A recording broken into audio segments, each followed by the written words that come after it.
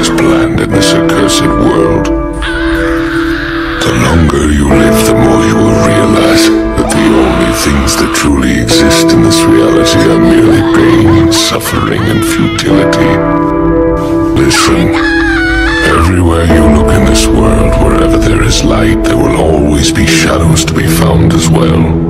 As long as there is a concept of victors, the vanquished will also exist. The selfish intent of wanting to preserve peace initiates wars. This world shall know pain. I got